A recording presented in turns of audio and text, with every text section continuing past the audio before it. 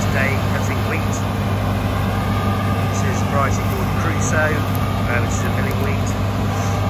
Uh, first field yielded just a smidge under 9 tonne per hectare, uh, about 12.8 to 13% moisture.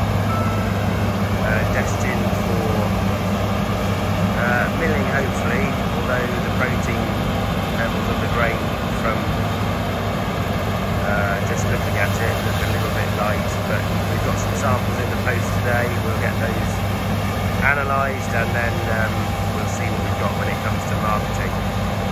Um, slight bit of a demo combine again. This is the 785 um, dropped in by Tallis Amos. Thank you very much, guys. Um, as our 685 um, has a broken a water pump, uh, which is the one that's got the Redekop seed control unit on it, uh, and a MacDon Flex Draper 135. So we've uh, we've got this to keep us going.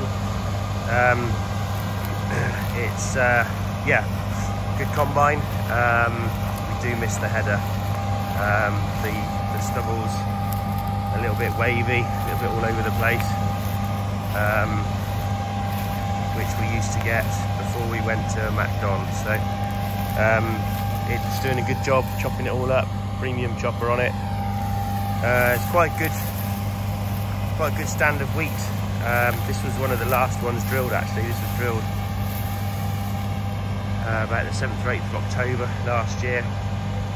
We actually had quite an extensive seed rate trial in here, or seed seed treatment trial, um, from uh, Farm Standard, which is manganese and zinc, um, to some amino A, some single purpose dressing, Vibrance Duo, um, several others, um, and then um, sort of working with Indigro, who help us with our agronomy, we actually had Eurofins come in and spray some fungicide and some trace elements across this but the, where I'm standing at the moment was about the greenest part of the field when we flew the drone over it and we took the decision not to take it to plot yield because the um, variation from the field soil type would have overwritten anything that um, those treatments would have would have shown which is a real shame actually. Um, but there we go. That's farming I suppose. Um,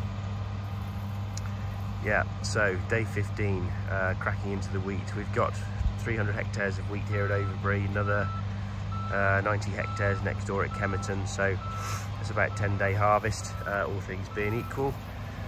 Um, and hopefully we'll get our combine back up and running tomorrow. New water pumps uh, en route.